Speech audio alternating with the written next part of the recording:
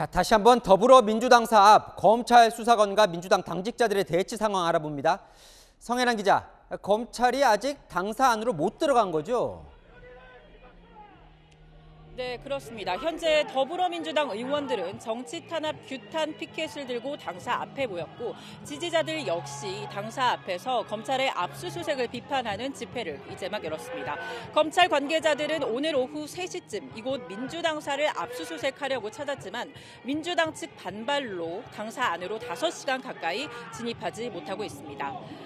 아, 오늘 검찰이 압수수색에 나선 곳은 당사 안에 있는 김용 민주연구원 부원장의 사무실입니다.